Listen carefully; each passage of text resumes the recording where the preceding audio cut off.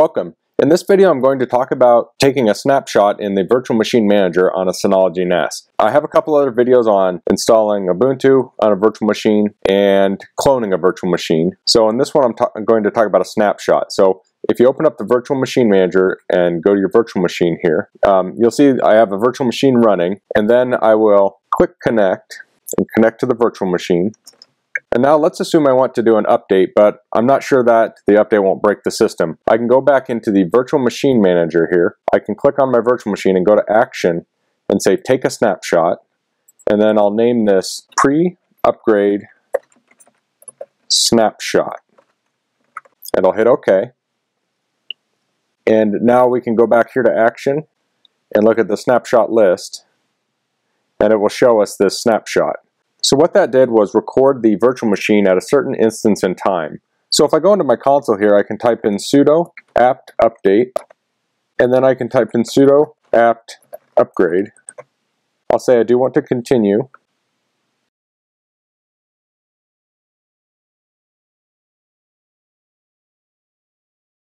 Okay, so the update's finished. If I try and run the upgrade again, it doesn't have anything to update.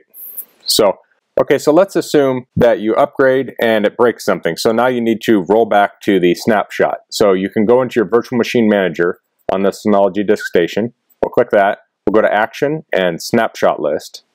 And we can click this snapshot and say restore in place, or we can clone it with a new name. But in my case, I'm going to restore it. So I'll say restore in place.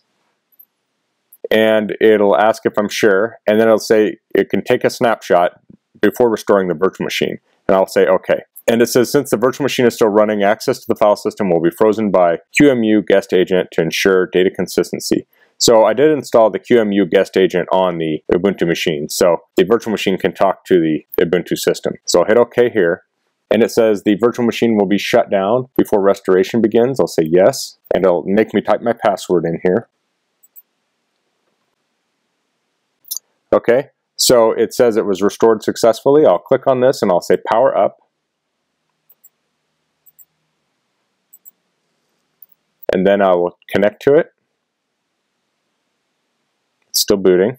Log in. And now if I type in sudo apt update, and then I'll type ampersand ampersand sudo apt upgrade, so this should show that there's an update that needs to be done because I rolled back to the point before the upgrade was done.